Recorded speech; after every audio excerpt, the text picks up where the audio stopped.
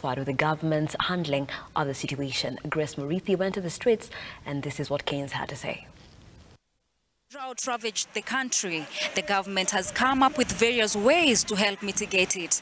Today on Your Opinion Matters, we ask Kenyans on whether they are content with the measures the government have laid down in order to solve the problem. This is what they had to say. China, mimi mwenyewe naitwa Dr. Mbai, mimi ni mkaaji wa hapa Nairobi.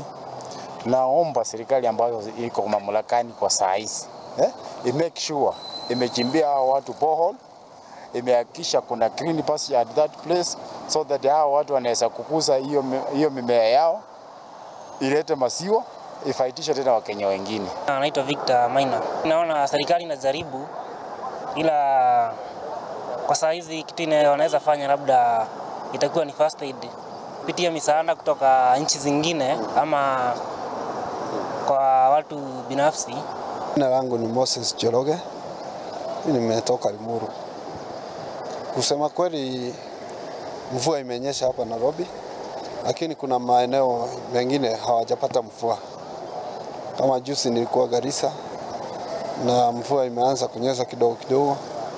Sasa ile kitu serikali ningewaambia ninge ama ningewahizi ni kama vile waziri wetu Alice Wahome aliongea mambo ya damu, damu zikiwa mingi watu wakuuze chakula.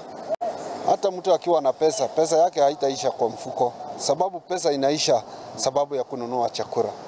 Lakini kama damu zipo, watu wa, wa, wa, wasimamiwe na hiyo maji, sasa watapanda kila kitu na nchi itakuwa sawa.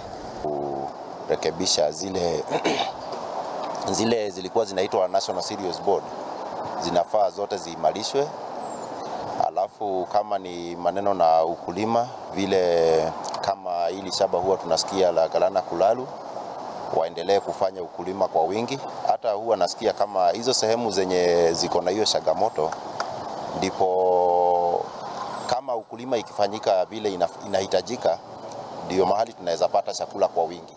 Kenyans have raised different concerns on the matter, therefore asking the government to come up with long-term solutions in order to curb drought in the future. Grace Morethi, Look Up TV, Nairobi. Thank you, Grace. And remember, this segment